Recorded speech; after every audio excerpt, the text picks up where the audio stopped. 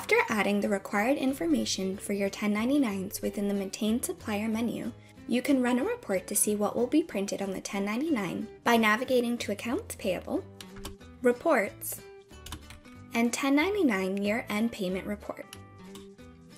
Select your company and subledger and enter your period from and to, which is generally going to be January to December.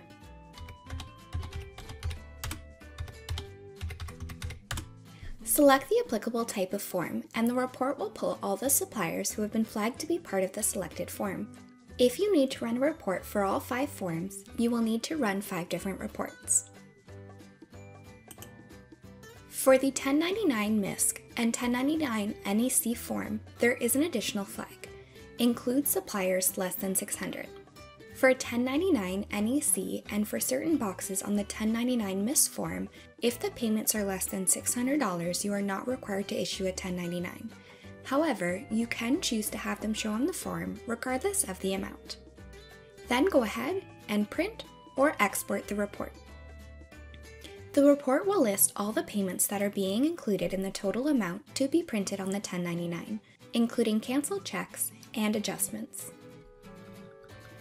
It will also list the number of total forms that will be printed at the bottom of the report.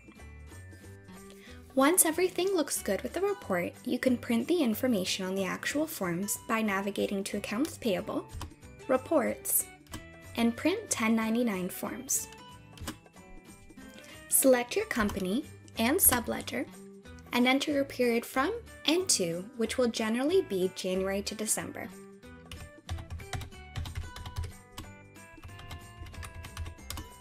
Select the type of 1099 you want to print.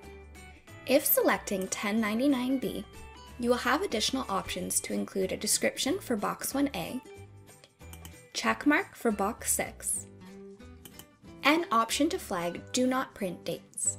This is the same kind of function as the Combined Payments flag in the Maintain Suppliers menu.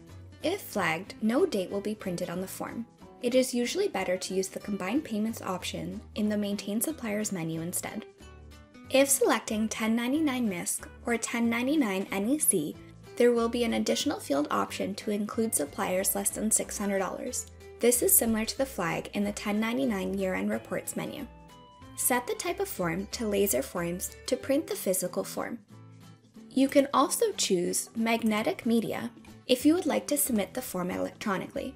If you select this option, fill in the magnetic media section which includes transmitter control code that was supplied to you, the contact name, phone number, and email address, and the path to create the file, which will default to your C drive in the IRS tax folder. It is recommended to add the year at the end of the folder name to help differentiate year by year. You can also change this file path if needed. When you click print, you will receive a pop-up letting you know the file has been created, how many supplier records were included, and the file will be saved to the file path specified. From here you can go ahead and upload the file accordingly. Note that in some states, a text file is required. In order to upload the file in this case, simply rename the file after it is created and add .txt to the name. The Selected button allows you to run the 1099 for a specific supplier or a range of suppliers. Print grand total Form 1096. If checked, this will line up with the 1096 form. Then go ahead and click Print. And print. The form will usually line up with your printer. However, you will be able to print a test pattern if the form is not lining up quite right. You can adjust the horizontal and vertical print modifiers using the up and down arrow keys.